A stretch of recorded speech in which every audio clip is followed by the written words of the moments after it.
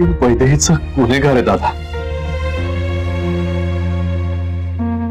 तिच्याशी ना प्रेमाचं नातं निभावू शकलो ना माणुसकीचं तिला तिथेच सोडून मी शहरामध्ये मोठा प्रसिद्ध गायक होण्याच्या ईर्षेनं आलो आणि आणि इथलं झगमग इथल्या या प्रसिद्धीच्या सगळ्या चकाचौंध वातावरणामध्ये मी परत जायचे सगळे दोर स्वतःच कापले माझ्याच हातांनी पण ती तिथे कशी आहे कशी जगतीये कशी राहतीये हे विचारलं सुद्धा नाही रे तिने इच्छा असूनही नाही परत जाऊ शकलो तिच्याकडे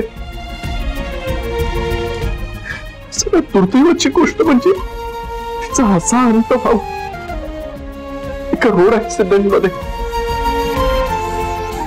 रस्त्याच्या बाजूला पडून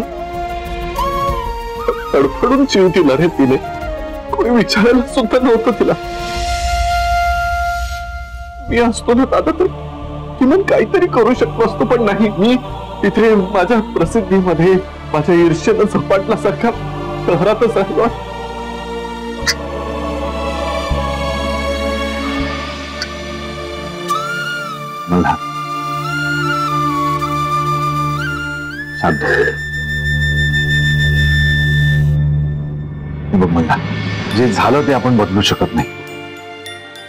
आता पश्चाताप करून काही उपयोग आहे का?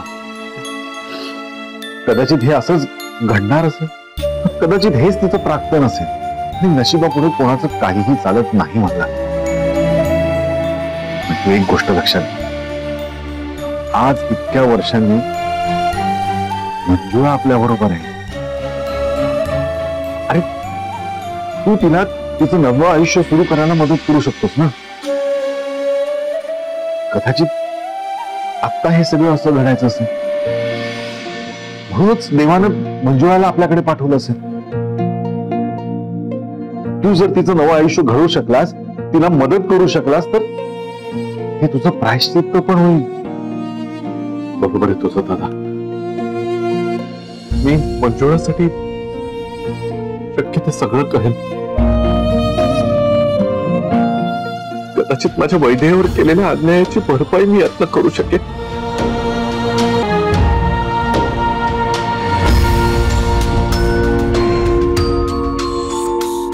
वैदेही, मी तुला वचन देतो. तुझ्यासाठी मी जे जे नाही करू शकलो ते मी मंजुळासाठी खरे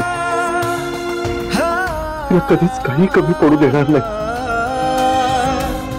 मंजुळाची काळजी घे. आजपासून मंजुळाची सगळी जबाबदारी माझी.